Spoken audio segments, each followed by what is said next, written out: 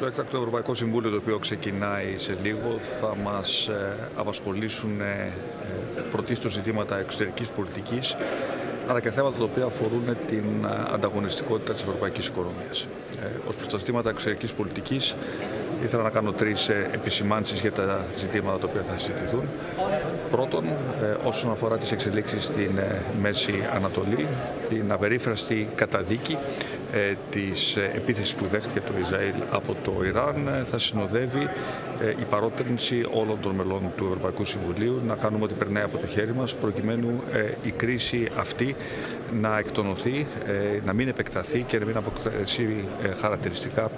περιφερειακής σύγκρουσης. Ε, δεύτερον, ε, εκφράζω την ικανοποίησή μου για το γεγονός ότι θα συζητηθεί η κατάσταση η οποία επικρατεί ε, στο Λίβανο, μια χώρα η οποία βρίσκεται και αυτή στο επίκεντρο μεγάλων αναταράξεων και αντιμετωπίζει σοβαρά προβλήματα. Και προφανώς η κατάσταση στο Λίβανο επηρεάζει άμεσα και την Κύπρο, καθώς έχουμε δει σημαντικές προσφυγικές ροές από το Λίβανο στην Κύπρο. Και στηρίζουμε την προσπάθεια της Κυπριακής Δημοκρατίας ώστε οι ροές αυτές να ανακοπούν, αλλά ταυτόχρονα να μπορέσουμε να παρέχουμε και στο Λίβανο υποστήριξη που τόσο χρειάζεται προκειμένου ε, αυτή η χώρα που έχει περάσει πολλά να καταφέρει επιτέλους να σταθεροποιηθεί. Τρίτον, ε, θα συζητηθούν ε, στο Ευρωπαϊκό Συμβούλιο ε, τα ζητήματα που αφορούν τη σχέση Ευρωπαϊκής Ένωσης Τουρκίας, την έκθεση πρόοδου την οποία έχει συντάξει η Ευρωπαϊκή Επιτροπή. Προς το παρόν είμαι ικανοποιημένος από τα συμπεράσματα στα οποία έχουμε καταλήξει, τα οποία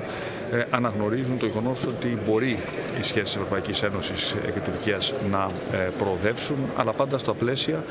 των αποφάσεων του Ευρωπαϊκού Συμβουλίου, οι οποίες έχουν ληφθεί τα τελευταία χρόνια. Τέλος, σε απόλυτη συνεννόηση με την Κυπριακή Δημοκρατία,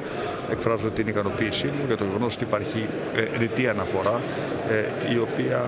ε, συνδέει την πρόοδο των ευρωτουρκικών σχέσεων και με την πρόοδο η οποία μπορεί να γίνει στο ζήτημα του Κυπριακού, με ρητές αναφορές στις αποφάσεις του Συμβουλίου Ασφαλείας που καθορίζουν το μόνο πλαίσιο